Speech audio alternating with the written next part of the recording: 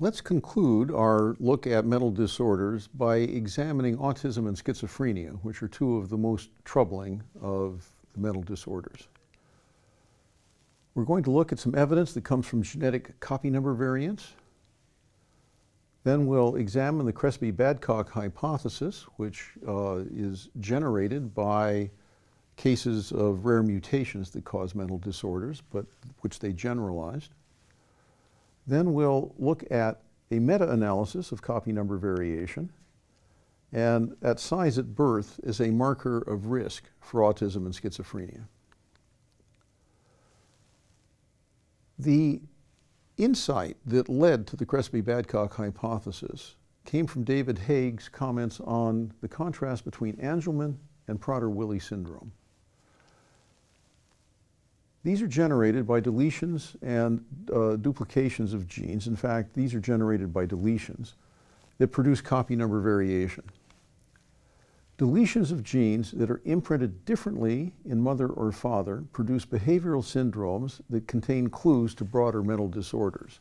So Angelman and Prader-Willi are deletions of genes that are imprinted differently in mother or father.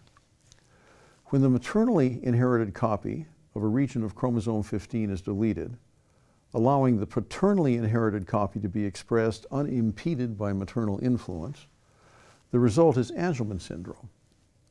Angelman babies demand suckling, cry frequently, they're hyperactive, they sleep very little, they tend to be very happy, and they have a high risk, 40 to 80%, of autism.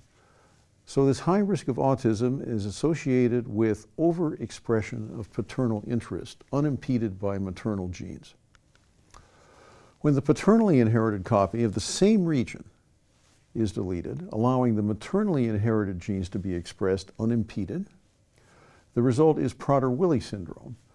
Prader-Willi infants suckle poorly, cry weakly, are inactive and sleepy, and have high risk, 30 to 70 percent, of psychoses which includes schizophrenia. So when maternal interest is overexpressed, unimpeded by paternal resistance, the result is an infant that doesn't ask for very much parental investment and is at high risk of psychosis. So similar patterns of deletion in two other regions produce similar contrasts in autism versus psychoses. This led to the Crespi-Badcock hypothesis. It sees uh, the, a spectrum ranging from hypermentalism, which is psychosis, through a normal area to hypomentalism, which they define as autism. If there is maternal bias, then with small deviations in this direction, you have less demanding offspring and lower birth weight, and larger deviations lead to psychotic type behavior.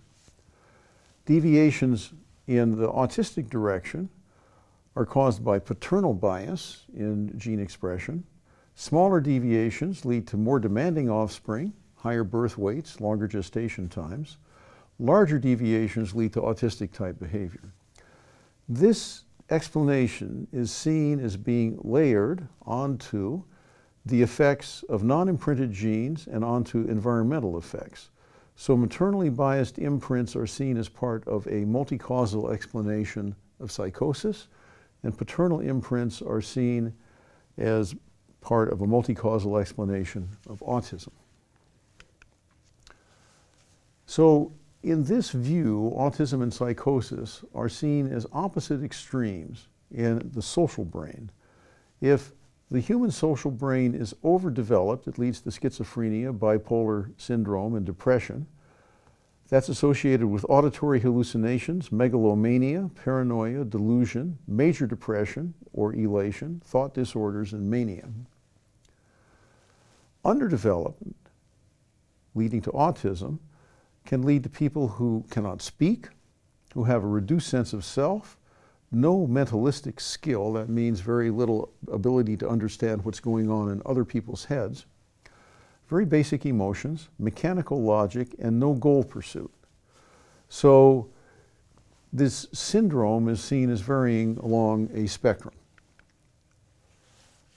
There is some support for this uh, that comes from a, a meta-analysis of copy number variation.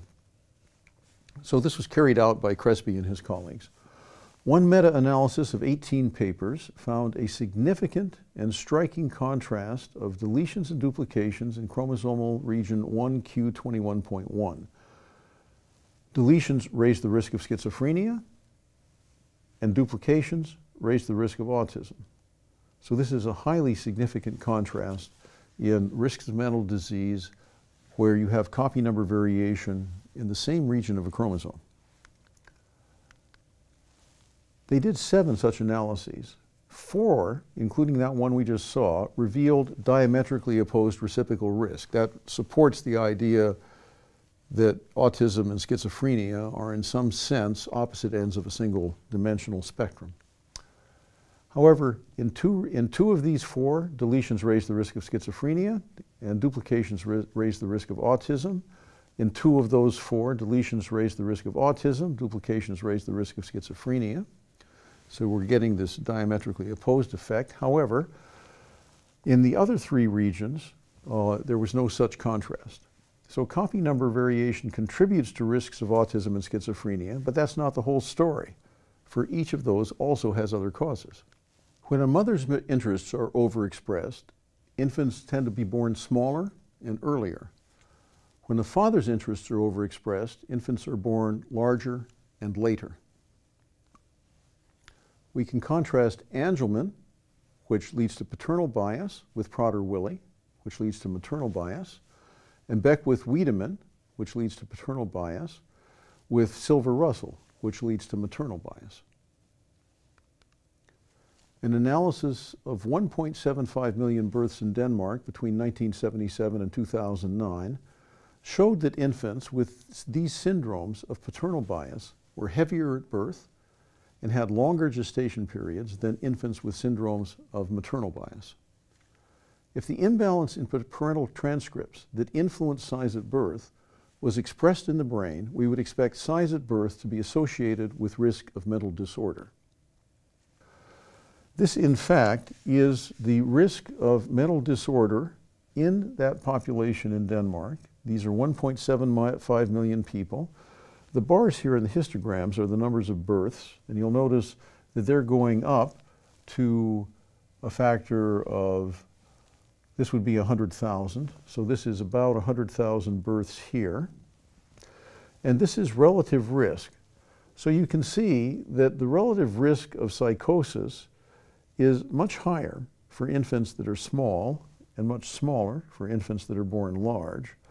The relative risk of autism is very high for infants that are born large. It drops and then it rises again in very, very small infants. So there seems to be something about very small brains which is resetting the circuitry uh, in, for, for both kinds of disease. So to summarize, in, in this lecture, we've looked at the connection between genomic conflict and mental disorders, and it's made by inferring the imbalance of genetic transcripts that influence behavior that's nor usually normal and healthy. Autism and schizophrenia are not thought to be selected, but they are to be thought to be pathological byproducts of the disruption of an equilibrium that usually results in normal children. This interpretation is supported both by the contrast of rare monogenic diseases, such as Prader-Willi and Angelman, in which either the maternal or the paternal chromosome is deleted, and is also uh, supported by the association of birth weights with disease risk in an entire country. The portion of variation in risk of autism and schizophrenia that's accounted for by this sort of explanation, genomic conflict, is probably not more than 20, 25%. So this is interesting and it's only a part of the story.